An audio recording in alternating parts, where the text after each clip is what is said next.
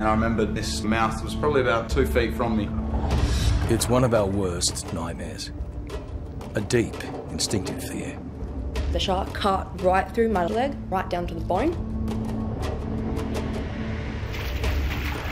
Driven into our psyche by the 1974 blockbuster, Jaws. A horror that's already struck in Western Australia. At the popular beaches up and down this coast, lifeguards are on edge. In just 10 months, five people have lost their lives in random attacks from the most feared oceanic predator, the villain of Jaws, the great white shark. Deaths that rock the community. Why do sharks attack humans? Can we stop them from hunting us? We really have to understand sharks to develop effective deterrence. Shark scientists around the world search for clues in a race to save people and sharks.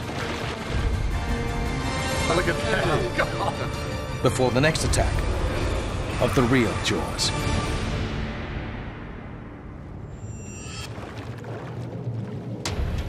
The movie Jaws was a Hollywood fantasy. A giant rogue great white shark terrorizes the beaches off Cape Cod, Massachusetts. In Western Australia, there is a fear that the fantasy has become a reality.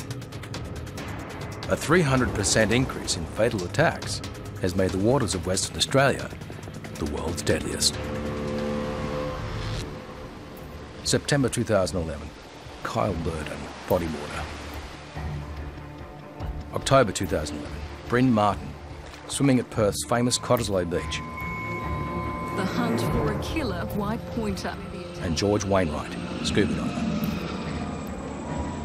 March 2012, Peter Kurmann, diving with his brother. July 2012, Ben Linden, surfer.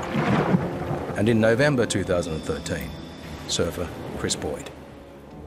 In Perth, the attacks shocked the community and shark researchers, changing how this beach culture city thinks about swimming and surfing. Just like the town in the movie Jaws, Perth is steeped in an atmosphere of fear, and public opinion is polarised. Uh, if a white shark, a great white, is seen to be in close proximity of the beach, then that shark uh, can be destroyed. State government reacts by calling for a cull of great white sharks near the beaches. Others want the federally protected animals left alone. But it's not just great whites that are a threat. Other species known to attack humans are bull sharks, hammerheads, bronze whalers, and tiger sharks.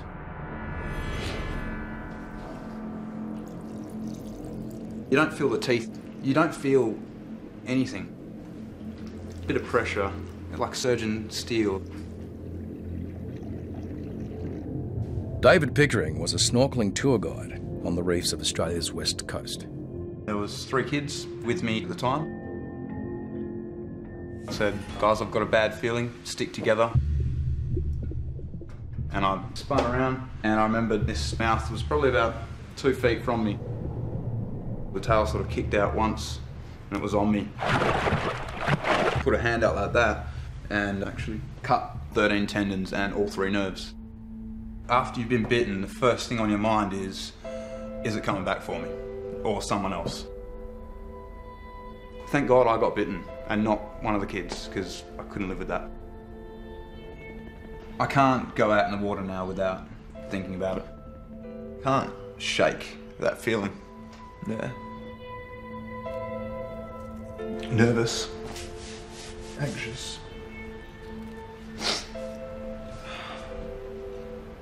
This is what it reduces me to. And when you love something so much, then you can't do it. I used to take things for granted. Like having a limb that works perfectly. But now I appreciate every day. What triggers sharks to attack humans when we are not their natural prey? And can scientists find a way to prevent these tragic events?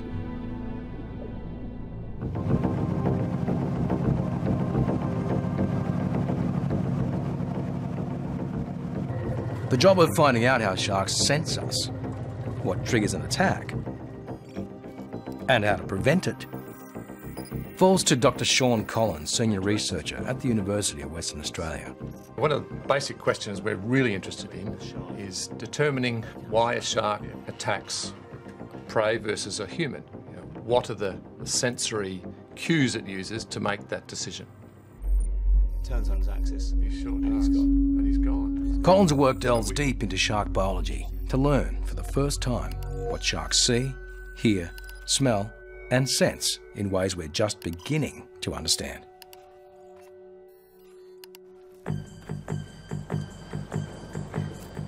His goal? Test all the shark deterrents currently on the market and develop new ones based on groundbreaking science. We want to get rid of the guesswork.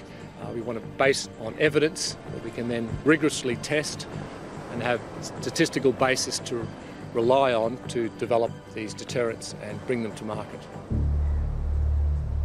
He's come here on the coast of Western Australia to a place with a well-earned name, Shark Bay. To test shark deterrence based on years of research into the sensory systems of sharks. Sharks are a major part of the marine ecosystem. They've been around for a, over 400 million years. They balance the ecosystem. They're sensory machines which uh, are sampling their environment continuously. Sharks have senses like us sight, smell, taste, hearing, and touch. But they have other extraordinary senses beyond our own. They can detect weak electrical fields, the Earth's magnetic field, and minute changes in water pressure caused by passing prey.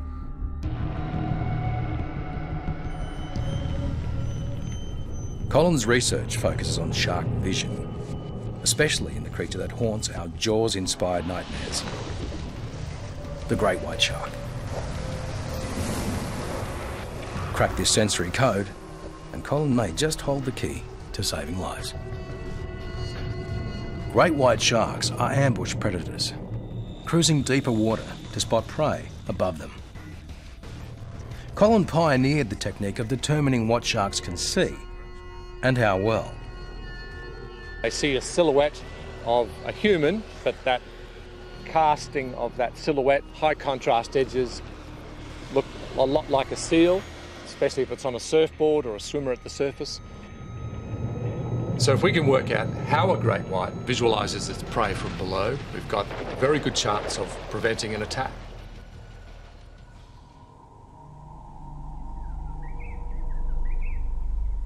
Collin's work with shark vision starts here, in the lab. For the first time, deconstructing how the great white targets its prey. We've got a, a great white eye mm-hmm. from an individual about two and a half metres long. The structure of shark eyes is similar to our own. With surgical precision, Collin and team member Caroline Kerr removed the retina from the shark's eye. A thin, transparent layer of tissue containing light-sensitive cells called photoreceptors, and other cells that transmit information to the brain. A bit like peeling an orange. The more tightly the photoreceptors are packed within the retina, the sharper the image. Look at that. That's the retina. Then, the transparent retina is stained with a purple dye, making the cellular structures easily visible with a computer-controlled microscope.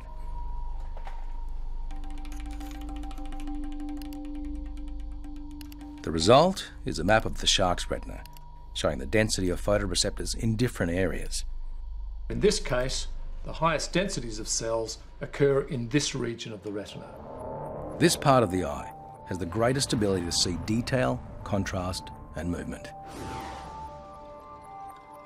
That means that in the great white's field of view, their sharpest vision is of objects above them, putting surfers and swimmers directly in the line of sight of these awesome predators.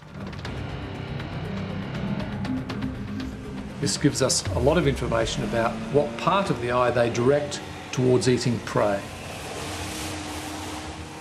So the need for effective shark deterrence is greater than ever.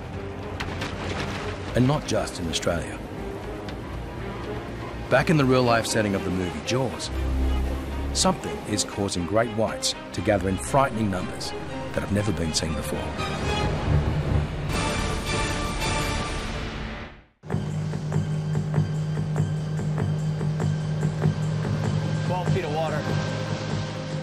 Off the coast of Cape Cod, Massachusetts, where the movie Jaws was filmed, great white sharks are appearing in waters where for hundreds of years they've almost never been seen. For fisheries biologist Greg Skomal, it's a new opportunity to study animals in the western North Atlantic, whose behaviour is virtually unknown. And if he can track and monitor their movements, he may be able to lessen the risk to swimmers.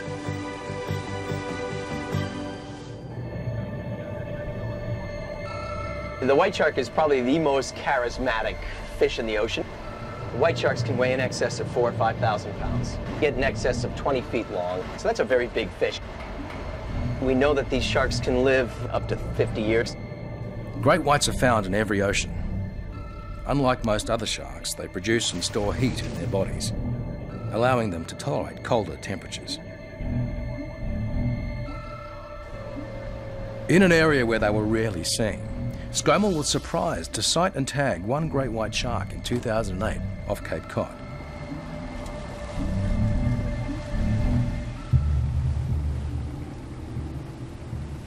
Over the next three years, he tagged 17 great whites.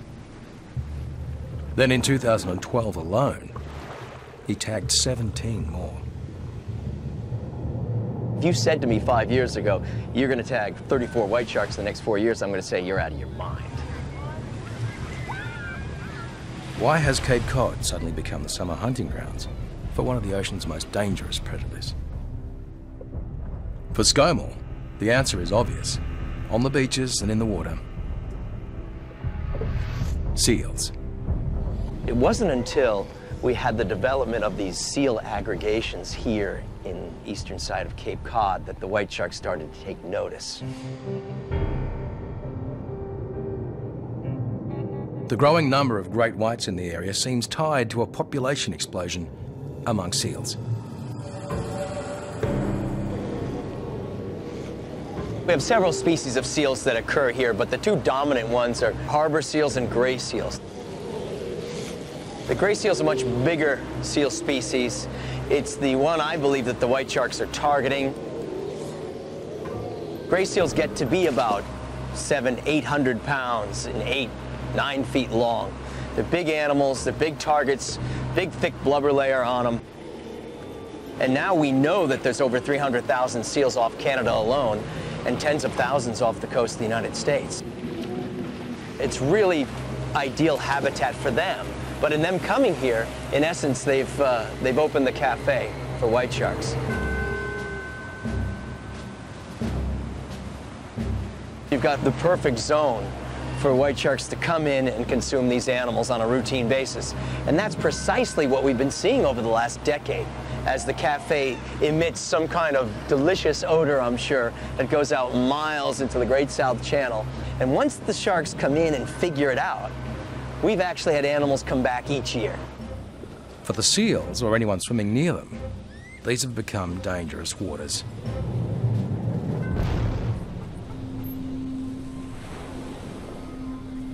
In the last several years, we've been seeing more and more evidence of these seals being attacked. Bites on seals, dead seals, wounds that can really only be created by one species of fish, you know, the white shark. Sometimes he only finds what's left. These are the uh, intestines of a seal, and that would be really good evidence of an attack. That's all that's left, which is pretty amazing. It is ironic that 10 miles or so from here is, uh, you know, the, the set of the movie Jaws. We talk about Jaws as this Hollywood production that was fantasy. And if we look at all the elements of Jaws, we see really many parts of it that are somewhat true.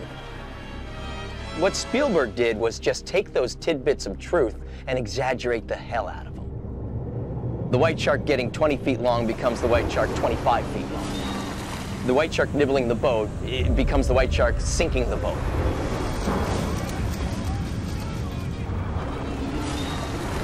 The white shark biting people to the white shark becoming a, a ravenous predator desiring human flesh.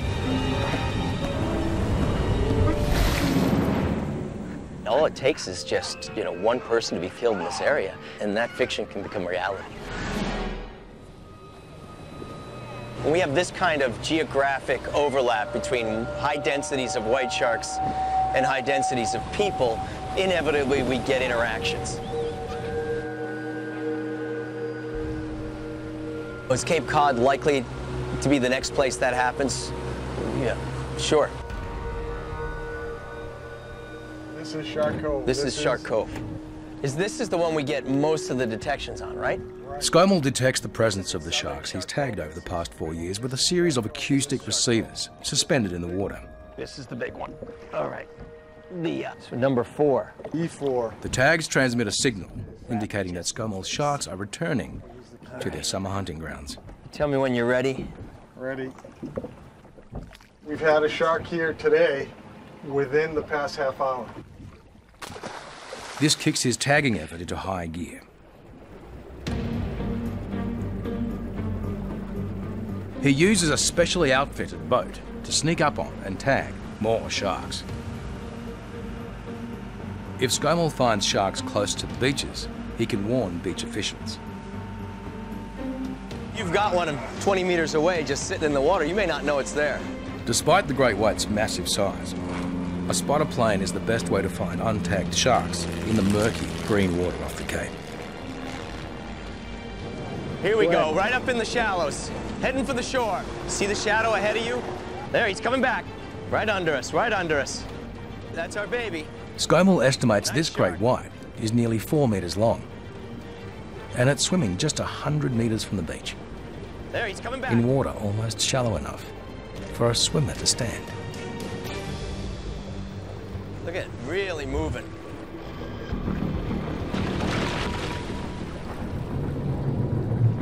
In just one day, Skomal spots five great whites. Some he's tagged in previous years, I see one of the tags, it's red. and newcomers too. Animals that have been elusive can now be studied. It's a nice fish. As Skomal successfully tags more and more sharks. It looks really good. Yep, let's Let's tag tag him. him. We got it. We got it. It's pioneering stuff. It's never been done before. We never had predictable access to white sharks in the western North Atlantic. And because of all those seals sitting out there, now we do. His acoustic tags may save lives, allowing officials to close beaches when a tagged shark is detected. We can tell where the sharks are and when they approach popular swimming beaches. And in some cases, we've actually reached out to those areas to say, oh, by the way, you've got a shark in your backyard. Halfway across the world in Western Australia, could seals be the reason behind the spike in fatal attacks?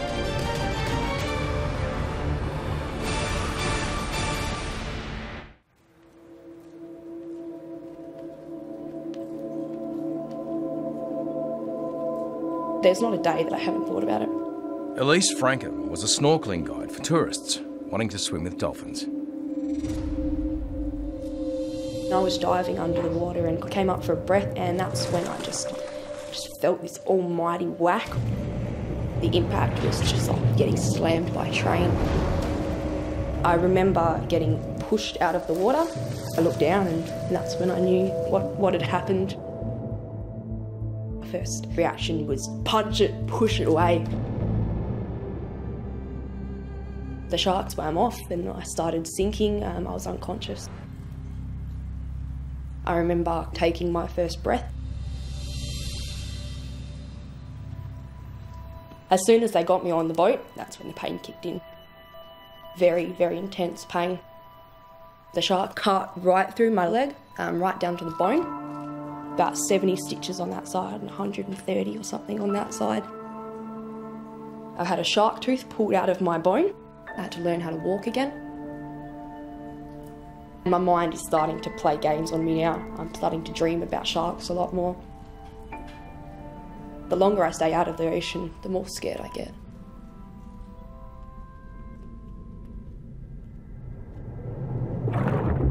The spate of attacks in Western Australia has left people frightened and scientists puzzled. Why do these attacks happen? Could they be tied to an increase in a key food source for great whites? Seals? On Rottnest Island in Western Australia, a fledgling colony of seals has taken hold just 13 kilometres from the popular beaches of Perth, where surfing, swimming and scuba diving is a way of life. And fatal shark attacks are on the rise. Are the sharks hunting seals and finding people instead?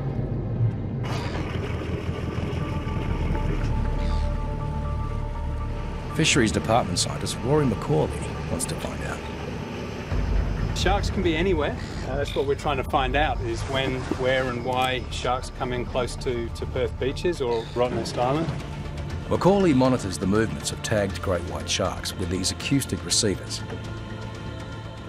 Data is transmitted directly to his computer. The sharks, he says, aren't here for the seals.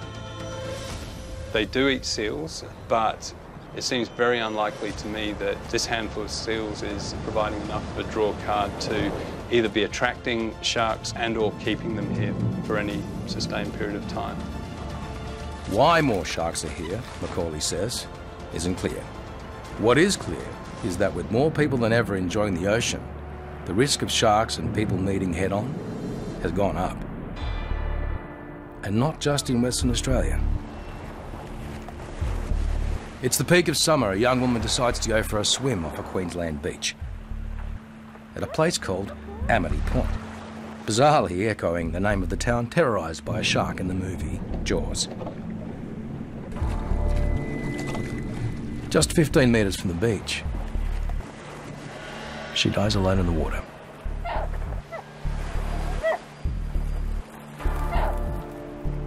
Rare as they are, shark bites are horrific events.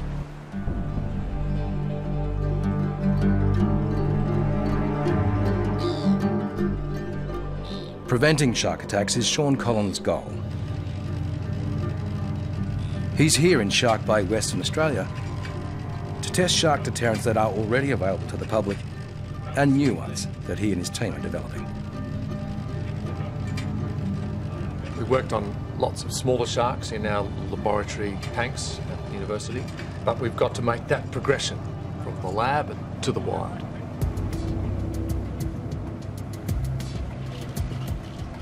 These metal frames are designed to hold a bait canister to attract sharks, along with a shark deterrent to be tested, and a pair of cameras. The idea of having two cameras is that we've got two different perspectives on the behaviour of the sharks. Collin's team preps the first test with a device that emits an electric field, powerful enough to shock a human if the antenna is touched. This type of deterrent has a, a long electrode, which is this lead here, which extends for a couple of metres, uh, typically behind a diver or the wearer. And once turned on, creates quite an extensive and fairly strong electric field around the device. This is the other type of commercially available electric device that we're going to be testing. It's an anklet style device, again worn by divers or swimmers. Bait canisters are filled with a mixture of smelly, bloody ground fish. And the electro-repellent rigs are deployed. But will they work? Each rig is anchored to the bottom and suspended in the water column by floats. They'll be left for two to three hours, enough time, they hope, for the bait to attract a shark. This is what happens when these rigs are deployed without deterrent. Bites that would inflict serious wounds. Which will be stronger, the scent of food or the electric deterrents? Can Collin's team learn how sharks use other senses to target their prey? And find a way to keep us safe?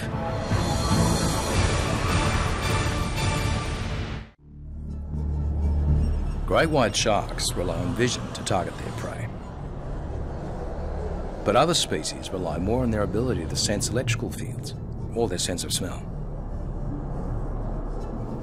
How can we tell which senses are of the greatest importance for each species?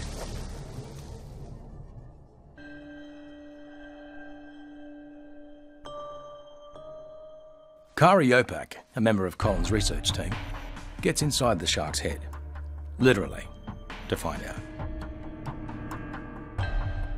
Kara Yopak studies the brains of sharks to understand what senses they rely on most. When you look at a brain, I can make fairly good predictions about what that animal's eating, how fast it's swimming, the general environment that it's living in. This is the brain of a great hammerhead shark. Hammerheads are open ocean predators, living along the continental shelf in tropical and warm temperate seas worldwide. They feed mostly on fish. Its regions for the brain for vision are actually not very enlarged. This is likely not to be a very visual animal. Hammerheads rely on other senses like electroreception to target their prey, allowing them to detect the electrical charge given off by a muscle twitch or a heartbeat of the potential prey a sense much more developed than in the great white. Here we've got the brains of the great white. The regions of the brain that receive visual input are quite large in comparison to other species, as are the regions of the brain that receive smell. But what becomes very pronounced in the hammerhead is this protrusion here at the front of the brain. And this is a region that we've associated with what we call social intelligence. So you see enlargement of this area in species that form true schools, that aggregate by sex and size, and that often have complex courtship and mating rituals. Whereas um, in the great white, that region of the brain is not very pronounced, um, which leads us to believe that the great white is in fact a solitary hunter. There's another conspicuous difference between the brains of these two species. A lot of people are really surprised when they see the brain of a great white, particularly in comparison to the hammerhead, because it looks so small. There's an amazing range of um, behaviors that the great white is capable of, and it's all controlled by this brain. So there's clearly a difference in senses that these animals are relying on. They all have the same battery of sensory systems, but the relative importance of each of those systems is going to be varied between species. The degree to which different species rely on individual senses is reflected by what parts of the brain are enlarged. Clues to which senses to target to develop effective deterrence. The idea of creating a blanket repellent that's going to repel all sharks in the same way really isn't realistic. But when we're developing a repellent for a great white shark, we likely want to target the visual sense. If sharks' eyes resemble our own, can they see different colours, like us? Collin thought that sharks, like their close relatives, stingrays, would have colour vision similar to ours. Whether you're a fish or a human, colour vision is made possible by three different types of cells in the retina, called cone cells, each one responding to a different colour, red, green or blue.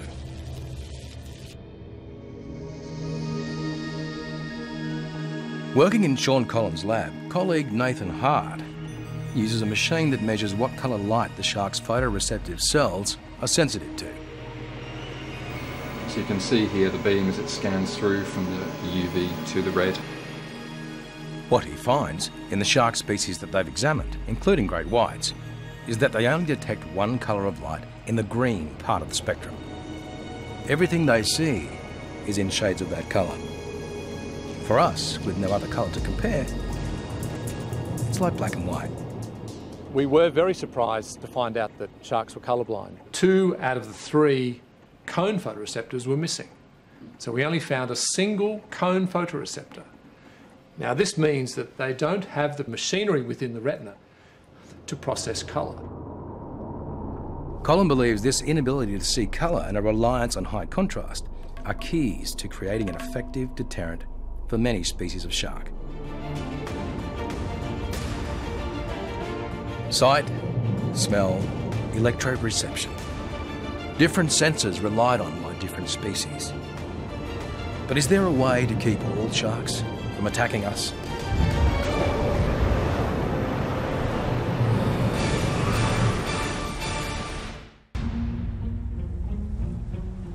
Scientist Shaun Collin and his team are experimenting with new technologies to deter shark attacks.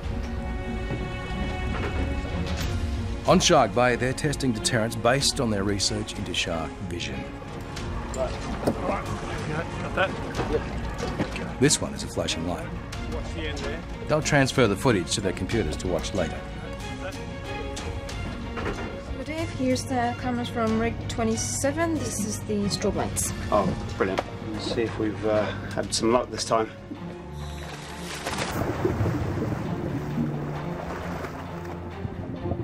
In the meantime, they've got another deterrent to test. Scientifically designed patterns for wetsuits. This is um, designed to be camouflaged underwater, certainly to the visual system of a shark. Yep. As Collin and Hart discovered, sharks are colorblind. They see the world in shades of black and white. This material is designed to fade into the background as the light changes at different depths, each colour tailored to what a shark's eye sees. So the idea is the shark just swims by and has trouble seeing it. That's right. A second design is very different. We've also got something which has been suggested for a, a number of years to be a good shark deterrent, and that's a pattern that mimics a sea snake's coloration. Sea snakes are highly venomous, and like many animals that are, they advertise their toxicity with bold patterns that warn predators to stay away. Most sharks don't like eating things that are striped, such as a sea snake. It actually is a noxious animal to them. Avoiding stripes seems to be a strategy of many sharks. Again, the team's research into what sharks can see is crucial to recreating the sea snake design in the right proportions.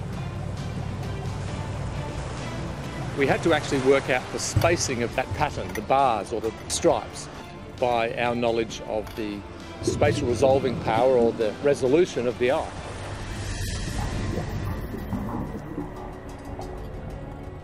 The underwater cameras run continuously during each test of a deterrent. For the scientists, finding that instant when a shark approaches means scanning hours of footage. Finally, their patience is rewarded. oh, that's cool. A bronze whaler, a shark known to attack humans, has found the bait. This test rig has the flashing light as a visual deterrent.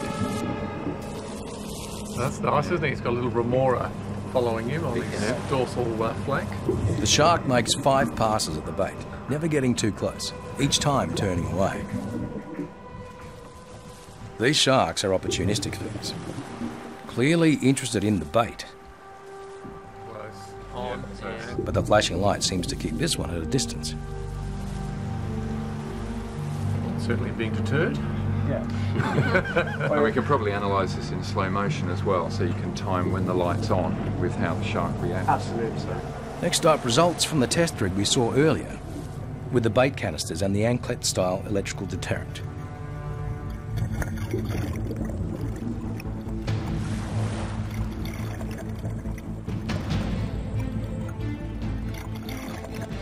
Oh, there you oh, go. look at that, look at that. Hey, God. The hammerhead. Wow. Hammerheads hunt with electroreception, and they seem especially sensitive to electrical fields. God, he came straight in. Right towards the bait and then almost did a 180 degree turn straight away. Yeah, it looks like he was deterred, all right. And this this is the uh, when the device was turned on with the electric field extending Yeah. out. Oh, that was amazing.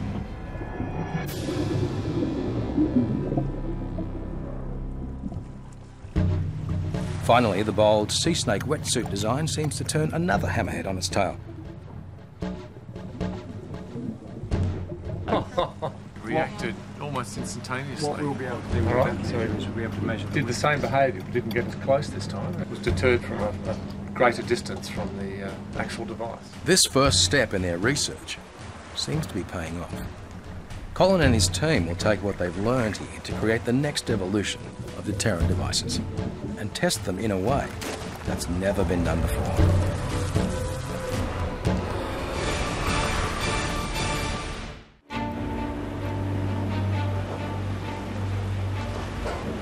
Shaun Collin has spent years researching the sensory system of sharks to understand why they attack humans and to find ways to stop them. And now, he'll examine the latest devices his lab has created from a perspective no other scientist has had. Inside a submarine. There we go.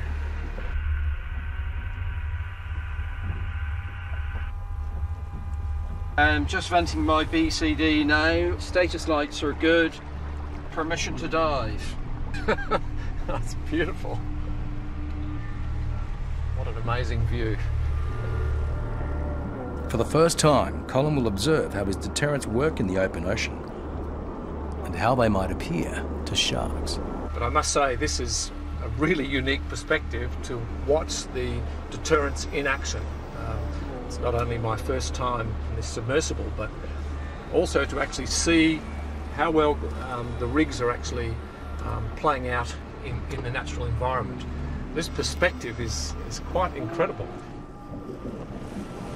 After their efforts in Shark Bay, the team has built a new, more powerful flashing light deterrent. See the rig very clearly. Look at that. Oh, it's sitting up beautifully. Oh, it's really clear. You can see the uh, floats Yeah. vertically Yeah. suspending the horizontal bar, two Yeah. uh, stereo cameras facing downwards, Yeah. and having a very good view of both the bottom and the and the flashing light deterrent, which is uh, extremely bright. Yeah. The team redesigned the test rig to look down on the bait and deterrent and modified the strength and speed of the flash. Done quite a lot of work to determine how fast the retina can react to, to light. The brilliant, flashing light should frighten a shark, like our reaction when suddenly caught in the headlights of an oncoming car. Collin thinks this could be a personal deterrent, if the large battery pack now floating at the surface can be made smaller. A diver could uh, strap this to his tank or, uh, or his ankle or something and um, it'd be an effective deterrent. There's a startle factor, and we think this is also a very useful way to deter sharks. From the patches of material they tested in Shark Bay, Collin has helped design wetsuits for divers and surfers. But this is the first time Collin will see how each suit performs from the shark's perspective. It's been wonderful to see these, these divers in, in mid-water and how well the striped suit is actually seen at quite some distance and how under certain conditions, depending on which way we're looking, how the camouflage suit actually tends to merge a little bit into the background. The effectiveness of the design becomes more apparent when viewed the way a shark sees, basically in black and white. These suits are on the market. Collin and Hart's research may already be paying off for divers and surfers, but more tests with big predatory sharks are needed. We are still involved um, in doing further testing on more species and under different conditions. A major focus of Collin's research is devising a deterrent that can protect not just an individual, but an entire beach. This is actually gonna be the first time we've tested this in the wild, so this is very exciting. A device that's effective on many types of sharks.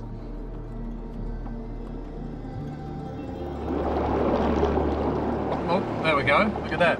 See the oh. bubbles come out? God, look at that. It's a continuous stream of bubbles over 10 metres.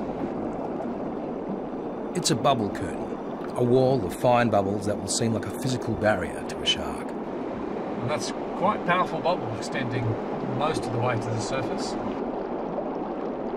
Collin believes that this veil of bubbles affects sharks in more than one way.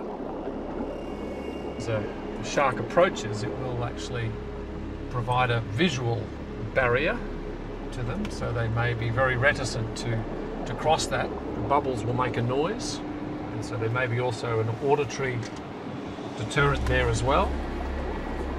And of course, the, all sharks have a well-developed lateral line sense. The lateral line in sharks and fishes is highly sensitive to touch and changes in water pressure, a sense that will be overstimulated by the bubble curtain. That would actually interfere with their lateral line system and then provide a, a third sensory deterrent. So we'd have a visual, acoustic, and a lateral line sense all being interfered with simultaneously. Look at that. That really is a wall of bubbles, a very impressive non-physical barrier that sharks will, I think, see as a, as a wall. As far as a test is concerned, I think this is a great success.